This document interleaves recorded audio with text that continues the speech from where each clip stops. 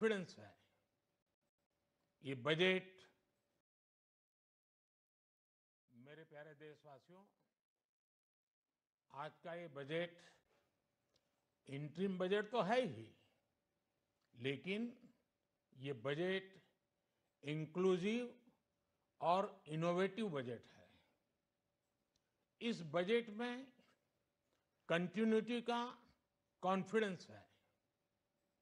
ये बजट विकसित भारत के चार स्तंभ, युवा, गरीब, महिला और किसान, सभी को एम्पावर करेगा।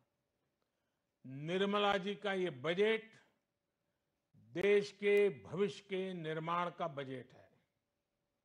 इस बजट में 2047 के विकसित भारत की नींव को मज़बूत करने की गारंटी है। मैं निर्मला जी और उनकी टीम को बहुत बहुत बधाई देता हूँ। साथियों, इस बजट में युवा भारत की युवा आकांक्षाओं का, भारत की यंग एस्पिरेशंस का प्रतिबिंब है। बजट में दो महत्वपूर्ण निर्णय ले गए हैं।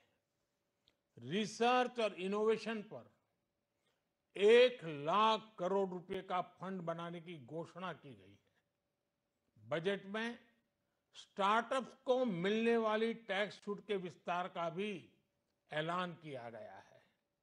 साथियों, इस बजट में फिस्कल डेफिसिट को नियंत्रण में रखते हुए कैपिटल एक्सपेंडिचर को 11 लाख ग्यारह हज़ार एक सौ ग्यारह करोड़ रुपए की ऐतिहासिक ऊंचाई दी गई है। अर्थशास्त्रियों की भाषा में कहें तो एक प्रकार से स्वीट स्पॉट है। इससे भारत में 21वीं सदी के आधुनिक इंफ्रास्ट्रक्चर के निर्माण के साथ ही युवाओं के लिए अनगिनत रोज़गार के नए अवसर तैयार होंगे। बजट में वंदे भारत स्टैंडर्ड की चालीस हज़ार आधुनिक बोगियाँ बनाकर उन्हें सामान्य यात्री ट्रेनों में लगाने का ऐलान किया गया है। इससे देश के अलग अलग रेल रूट पर करोड़ों यात्रियों में आरामदायक यात्रा का अनुभव बढ़ेगा। साथियों, हम एक बड़ा लक्ष्य तय करते हैं। उसे प्राप्त करते हैं और फिर उससे भी बड़ा लक्ष्य अपने लिए तय करते हैं। गरीबों के लिए हमने गाँवों और शहरों में चार करोड़ से अधिक घर बनाए।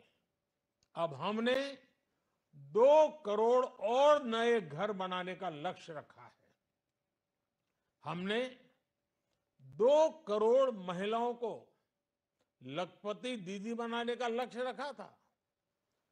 अब इस लक्ष्य को बढ़ाकर तीन करोड़ लखपति दीदी बनाने का कर दिया गया है। आयुष्मान भारत योजना ने गरीबों की बहुत मदद की है। अब आंगनवाड़ी और आशा वर्कर उन सबको इस योजना का लाभ मिलेगा।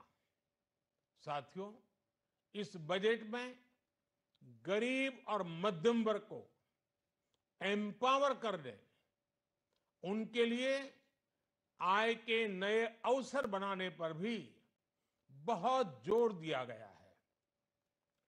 रूपटॉप सोलर अभियान में एक करोड़ परिवारों को सोलर रूपटॉप के माध्यम से मुफ़्त बिजली प्राप्त होगी। इतना ही नहीं, सरकार को अतिरिक्त बिजली बेचकर लोगों को पंद्रह से बीस हज़ार प्रति वर्ष की आय भी होगी और ये हर परिवार को होगी। साथियों, आज जिस in income tax revision scheme की घोषणा की गई है। उससे मध्यम वर्ग के करीब एक करोड़ लोगों को बड़ी राहत मिलेगी। पिछली सरकारों ने सामान्य मानवी के सिर पर दशकों से ये बहुत बड़ी तलवार लटका कर रखी थी।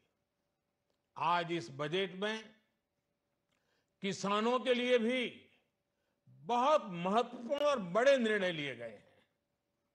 नैनो डीएपी का उपयोग हो, पशुओं के लिए नई योजना हो, पीएम मत्स्य संपदा योजना का विस्तार हो, और आत्मनिर्भर ऑयल सीड अभियान हो। इससे किसानों की आय बढ़ेगी और खर्च कम होगा। मैं एक बार फिर सभी देशवासियों को इस ऐतिहासिक बजट के लिए शुभकामनाएँ देता हूँ। बहुत बहुत धन्यवाद।